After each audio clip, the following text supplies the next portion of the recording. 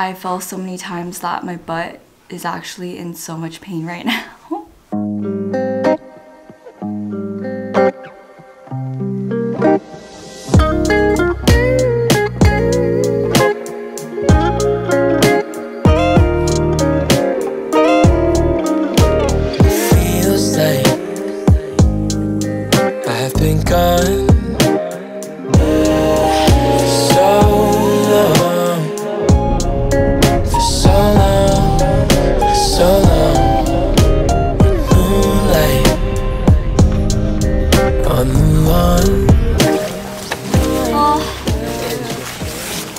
Guys, we're gonna be freezing.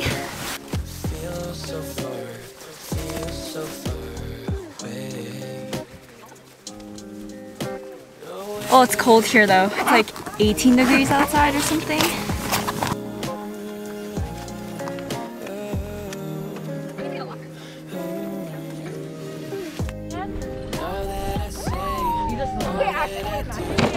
Alright, let's learn. Yeah, let's watch Cindy learn how to put her in. No, no, watch out. You're going. Put one. Put your back foot in only. Huh? Put only your back foot in. Or your, your front foot in, sorry. Your front foot. I was like, what? Yeah, like this. So just your right foot if you're goofy.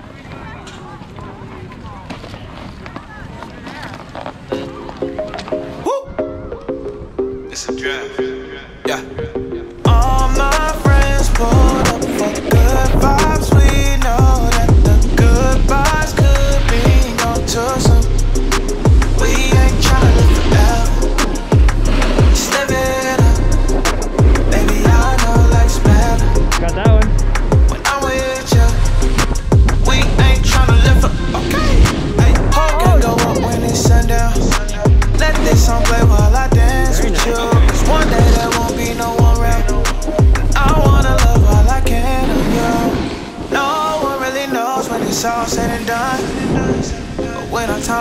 Time winds up, I bet it all on us. All my friends pulled up for good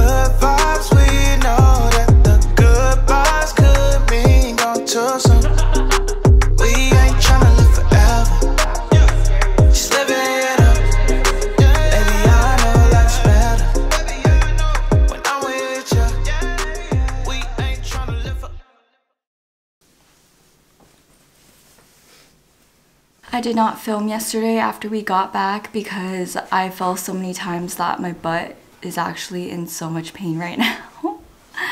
and I was exhausted yesterday, but I woke up today and my body doesn't feel as sore as I thought it would, but it still really hurts. So I'm I don't know how I feel about snowboarding again today.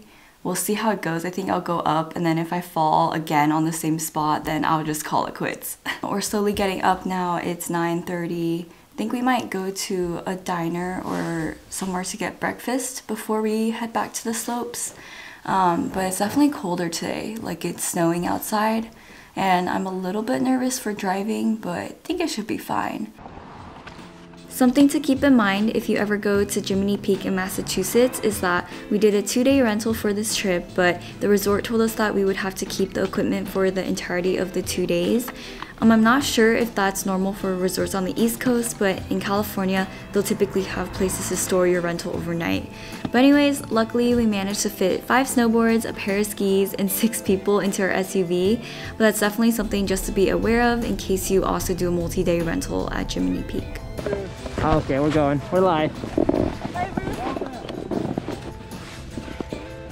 Clearly, you can tell from these clips that on the second day, I just got really scared and nervous.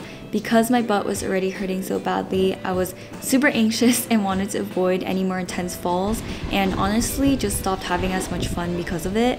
So, after my first run down, I decided it would just be better if I switched to skiing, which I'm a lot more familiar with, so that I could basically just enjoy the rest of the trip with my friends.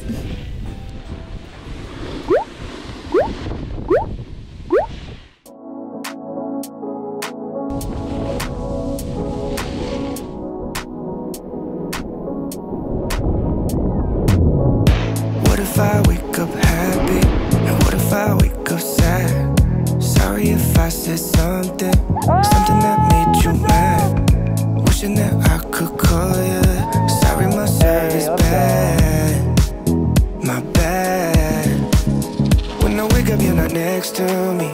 Guess I'm missing all your energy. That's all I want. That's all I want. Promise I am not your enemy. I just need another memory. That's all I want. Thought I would give a tour of the Airbnb we're about to check out, but wow, it's all white and snowy outside. Here's the kitchen.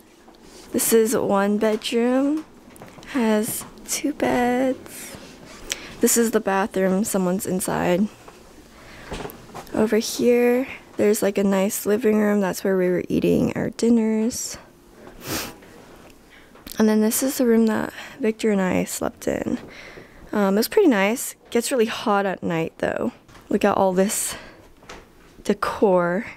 Pretty much the master bedroom. Apparently this bed has mirrors on the top. And this is like cool living room to hang out in. That chest was a little creepy. And then this is like a workroom. They didn't really have Wi-Fi though, which is strange for Airbnbs these days, but nice stay overall. We were around 30 minutes away from Jiminy Peak, so not a really bad drive, and also it wasn't windy at all. Um, even though it was like kind of snowing and stuff these days, felt really safe driving. So the mountain was pretty good as well. There were a lot of slopes and stuff, but surprisingly a lot of walking on the slopes because they were pretty flat even at the top. But overall, we had a really good experience. My butt is so bruised. Honestly, I might insert just like a small picture of it because there's a huge black splotch, but pretty funny.